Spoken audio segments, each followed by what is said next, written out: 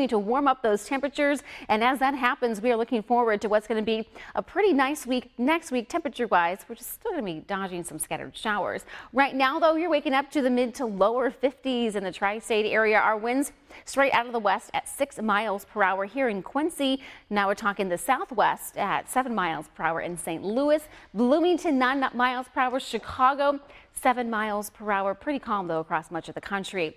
Clear skies right now. Lots of clouds though and lots of moisture you see here just off towards the west coming out of Oklahoma heading through Kansas. Now we're going to make our way into Nebraska. Clear for now. Clouds are going to increase this afternoon. A closer look does show clear skies, but keep in mind Later this afternoon, clouds will move in. Cloudy skies tonight, but not before we enjoy 75 and sunny through at least a portion of the afternoon.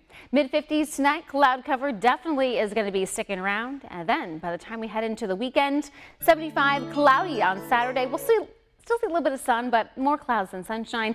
76 widely scattered showers and thunderstorms on Sunday. Your Memorial Day forecast upper 70s, still a threat for storms. And then Tuesday, Wednesday, and Thursday, it is the 80s for the last uh, few days there of May. Nighttime lows in the mid 60s, but still a threat for thunderstorms.